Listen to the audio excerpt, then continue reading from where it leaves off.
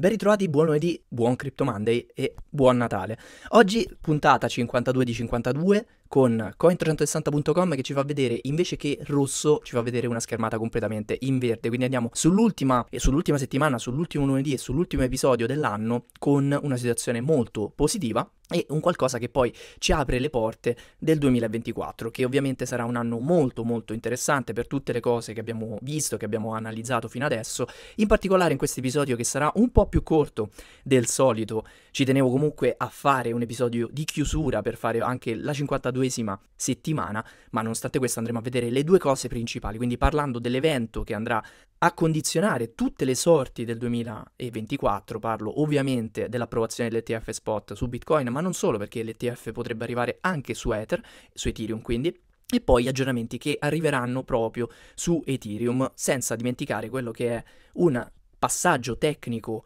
obbligato, nel senso che non dobbiamo aspettare nulla, solamente lo scorrere dei blocchi che è l'halving su Bitcoin. Qui su coin360.com troviamo appunto BTC al, 4, al più 4.12% rispetto a lunedì scorso ed Ether al più 3%. Questa è stata sicuramente la settimana di Solana con Sol che fa vedere un più 56%, lo troviamo in verde scuro, ma non solo. Tra le varie monete in verde bello intenso ci sono anche quei token legati alla governance dei layer 2, in particolare Optimism che fa ancora meglio di Sol. Questo perché? Perché arriva l'annuncio di Denkun e oggi ne parleremo. Andiamo su CoinMarketCap con una capitalizzazione che si alza a 1.66 trillions con una dominanza di Bitcoin superiore al 50%, in questo momento quasi 51%, ed ETH al 16.4%. G-Way che finalmente, almeno il giorno di Natale, si abbassa un pochino a 17, abbiamo visto un periodo molto molto difficile per i costi transazionali sia su Bitcoin che su Ethereum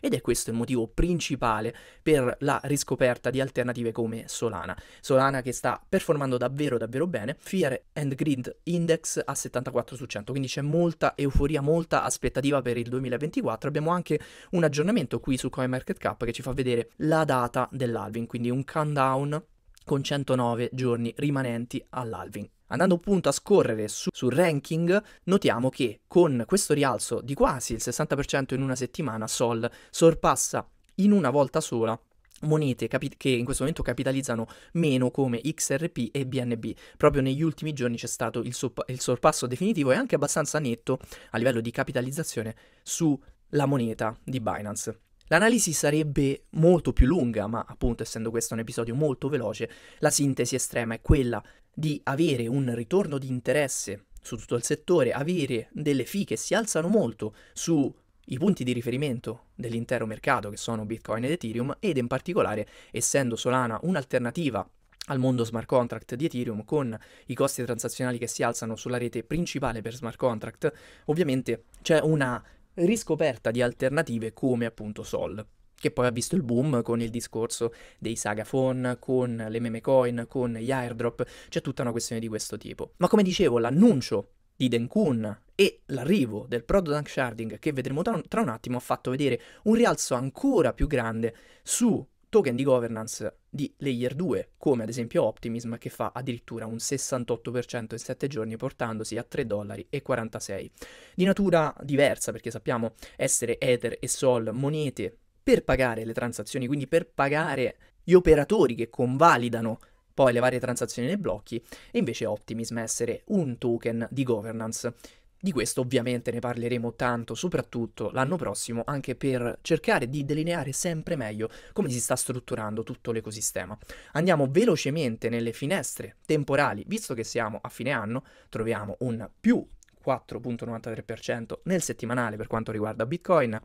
un 14% nel mensile e finalmente l'annuale ci fa vedere quello che è lo specchio praticamente dell'anno 2023, manca una sola settimana, il prossimo Crypto Monday sarà il primo di gennaio 2024, quindi potremo anche vedere quello ovviamente, ma già da qui vediamo un più 156% e questo è l'asset più performante del 2023 in assoluto. Quindi una volta ancora Bitcoin risponde a tutti i vari tutte le varie critiche che lo hanno dato per morto per l'ennesima volta, soprattutto nel 2022. Andiamo in analisi tecnica, ma molto molto molto velocemente su coppia BTC USD Coinbase. come detto settimana scorsa, il prezzo entra in questa fascia di prezzo che va in questa fascia che va dai 40.000 ai 45.000, sta lateralizzando e dando il tempo alla media del prezzo di alzarsi verso un livello più alto e colmare quello che è il gap tra il prezzo attuale, appunto la media, quantomeno quella degli ultimi 50 giorni, media degli ultimi 200 che rimane molto distanziata visto la crescita che c'è stata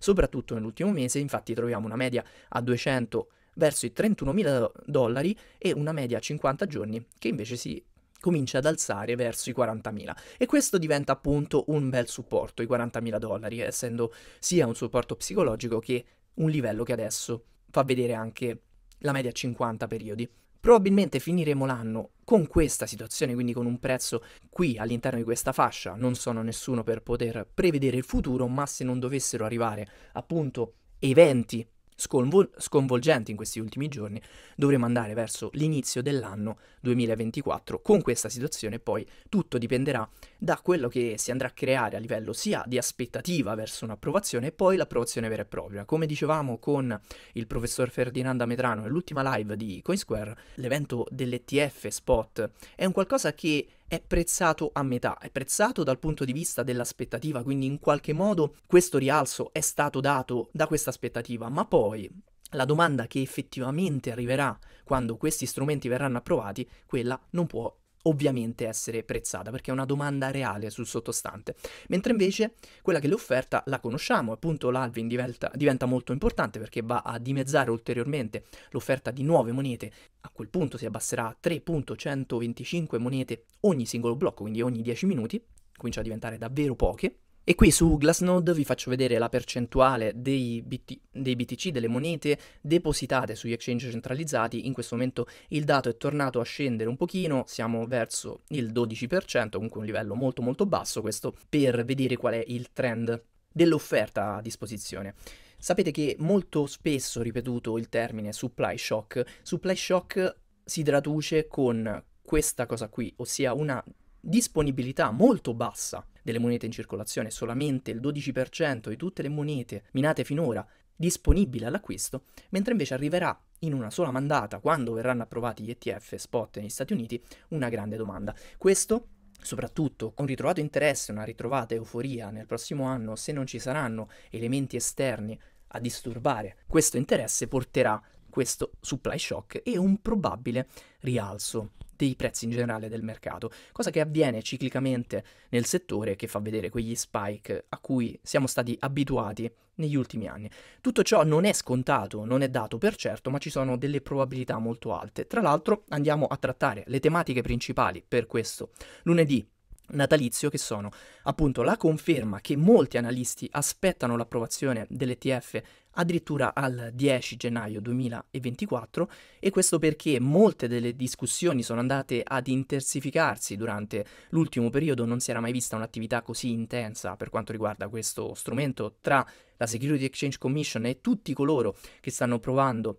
a ottenere un'approvazione. Per analisti Bloomberg sembrerebbe comunque appunto essere alle porte visto che è stato delineato anche l'ultimo aspetto, che è quello di and- andare ad avere una redemption in kind o cash. Questa è stata la discussione poi portata avanti soprattutto da iShares Bitcoin Trust con BlackRock che con questo stratagemma, quella struttura che vedevamo appunto lunedì scorso, renderà possibile una redemption cash. Questo vuol dire che anche istituzioni come banche possono effettivamente offrire lo strumento passando tramite una mediazione come quella di BlackRock e poter poi uscirne direttamente in cash senza dover acquistare o vendere quello che è il sottostante. La sto semplificando di molto, ma il concetto è appunto questo, cioè renderà ancora più accessibile lo strumento ai vari player istituzionali. In molti stanno, dopo ultima, questo ultimo dettaglio, cambiando appunto la descrizione e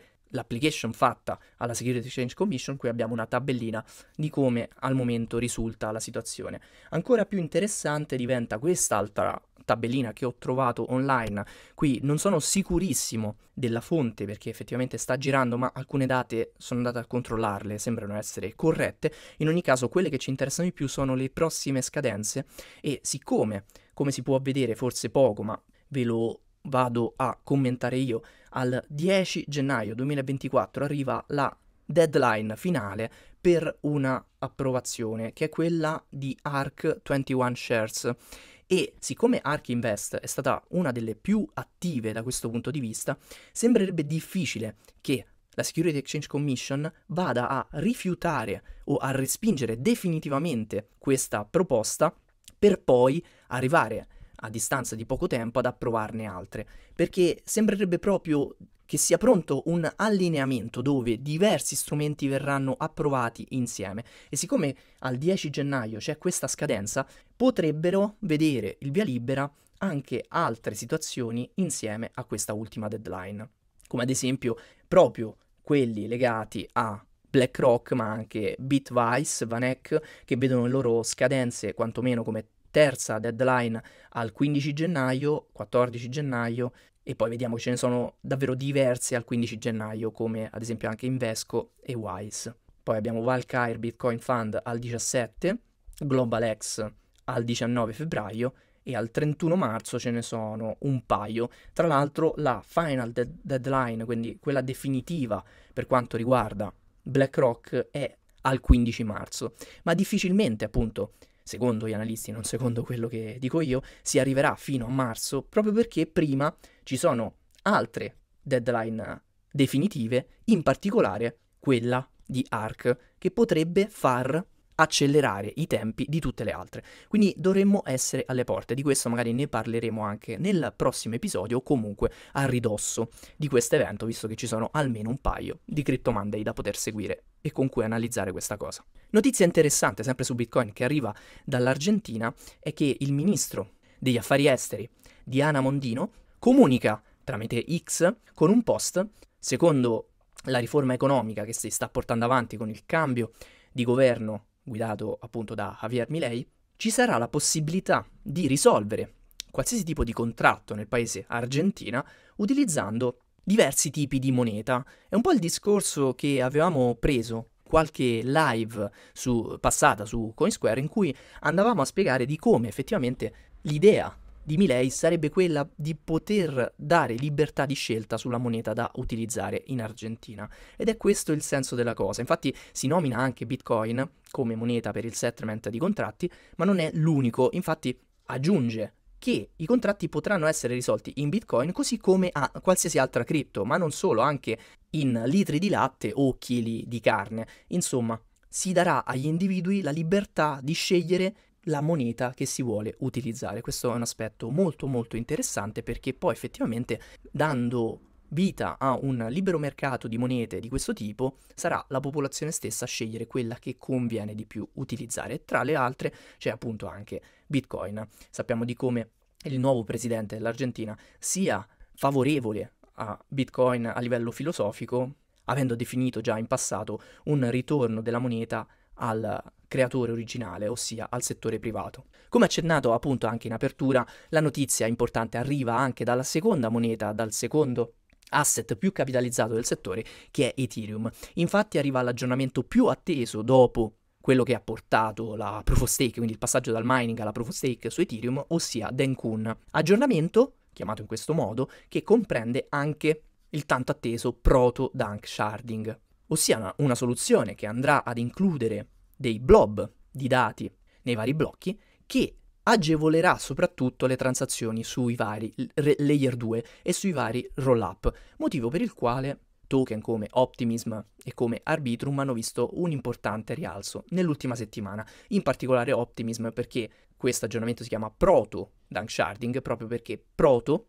è l'ideatore, ricercatore, sviluppatore di Optimism, è l'ideatore di questa soluzione proprio insieme a un altro sviluppatore, che è questo che stiamo vedendo qui in foto, Dankrad Fist. La notizia qual è? Visto che comunque questa cosa già era attesa, è che finalmente arrivano delle date. Questo aggiornamento inizialmente nel roadmap era previsto per la fine del 2023, è stato posticipato, ma a quanto pare non di molto, perché il 17 gennaio arriverà finalmente nella prima testnet, ossia su Goerli. Dopo questo approdo, se tutto andrà bene, ci sarà il secondo passaggio su Sepolia al 31 gennaio e poi Olesky, la nuova testnet, il 7 febbraio. Sappiamo poi che Goerli diventerà obsoleta, sarà depre- deprecata a breve per lasciare appunto il posto a All Sky, quindi rimarranno Sepolia e All Sky. Dopo questi passaggi, se tutto andrà bene, Ripeto, questo è molto importante, anche gli sviluppatori stessi ovviamente ci tengono a ribadire che tutto dipenderà dall'outcome, da come queste testnet andranno poi a funzionare, come l'aggiornamento si comporterà in testnet. Se tutto andrà bene, si procederà al lancio in mainnet di questo aggiornamento alla fine di febbraio. Quindi prima della fine del primo trimestre del 2024 potremmo vedere già il prototank sharding rilasciato su mainnet Ethereum. Questo vorrà dire un, mu- un, miglioramento sostanziale di tutti i costi transazionali, soprattutto sui vari layer 2 di Ethereum, quindi i vari optimistic rollup, i vari zero knowledge rollup, come ad esempio Optimism, Arbitrum, ZK EVM, ZK Syncera, Linea, eccetera. Tutte queste reti che sono d'ausilio, che sono praticamente un layer superiore ad Ethereum che andranno a scaricare di molto a quel punto tutte le transazioni dal layer di base perché non conviene più transare o operare sul layer 1, tutto si sposterà sul layer 2 mantenendo la sicurezza del layer 1 ma andando a far pagare dei costi transazionali praticamente irrisori o in alcuni casi vicini al, al nulla perché Già ad oggi i costi transazionali su, su roll-up di tipo ottimistico, come ad esempio Optimism, sono molto molto bassi. Una singola transazione costa 1 o 2 centesimi di dollaro su Optimism, se questa dovesse migliorare di 10 o 100 volte, a quel punto par- parleremo non più di centesimi ma di millesimi e con un costo in millesimi diciamo che potrebbe anche essere non rilevante e cambiare tutto l'approccio al settore stesso, perché anche le applicazioni a quel punto potrebbero andare, grazie ad account, account abstraction, a sponsorizzare tutti i vari costi di rete, quindi l'utenza si troverebbe nuovamente ad operare su un web che non chiede più un costo, ma che utilizza degli strumenti più o meno decentralizzati con il vantaggio di non dover più fornire dei dati ai servizi che utilizza. Questa è una vera e propria rivoluzione nel web, per quello in molti la definiscono il passaggio dal web 2 al web 3. In chiusura, come notizia di pura cronaca, è stata confermata l'ammenda verso il CEO di Binance CZ di 150 milioni di dollari di multa verso Binance che dovrà pagare 2.7 miliardi di dollari per concludere questa azione legale, questo processo che è stato portato avanti dalla CFTC e che aveva visto la prima sentenza a novembre. Adesso il 18 è stato deciso per questa conferma. Che dire, per oggi è tutto, sono andato sulle notizie più importanti, con l'occasione ho anche la possibilità di dare gli auguri di buon Natale a tutti quanti, essendo appunto il 25, probabilmente riuscirò a fare anche un aggiornamento al primo gennaio, sicuramente torneremo con approfondimenti più verticali a partire dai prossimi episodi di inizio 2024, un anno davvero importante per il settore, probabilmente uno dei più importanti da quando Bitcoin nasce. Grazie a tutti, buon lunedì, buon Natale e buon Crypto Monday.